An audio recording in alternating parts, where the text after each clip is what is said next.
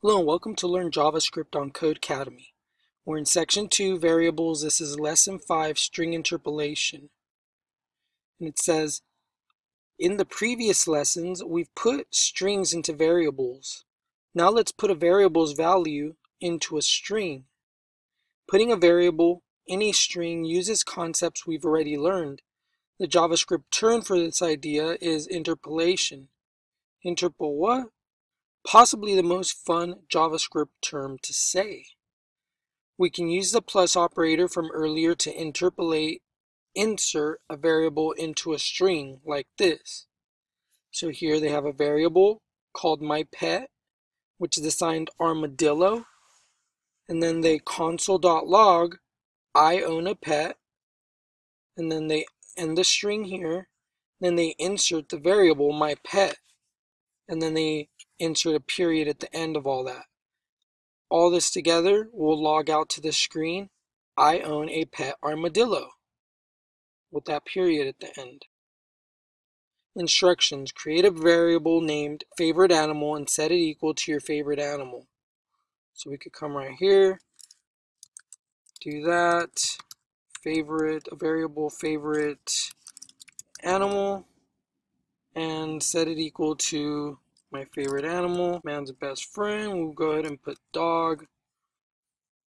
And then go ahead and run this. So now that that's set, we can do number two, which says then use console.log to print my favorite animal, koala, but replace koala with your favorite animal.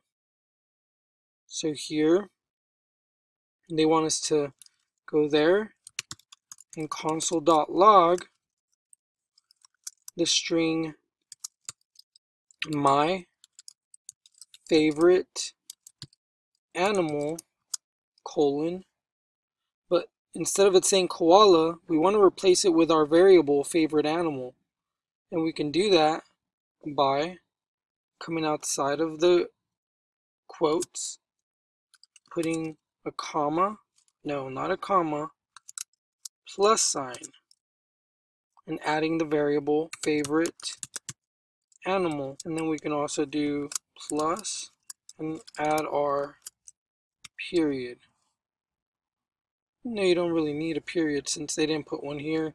So forget the period. Do that, semicolon, and now this should technically console log onto the screen my favorite animal, dog Let's make this capital. So let's go ahead and run this. And as you guys can see, my favorite animal, dog, was printed onto the screen. We can add a little space here, make it look a little better. And that looks better. And that is string interpolation. It just pretty much means, uh, like it says here, insert. So interpolation is just inserting into our string a variable we created to kind of flow with whatever the string is. And that again is string interpolation, lesson 5, section variables, and learn JavaScript on Codecademy.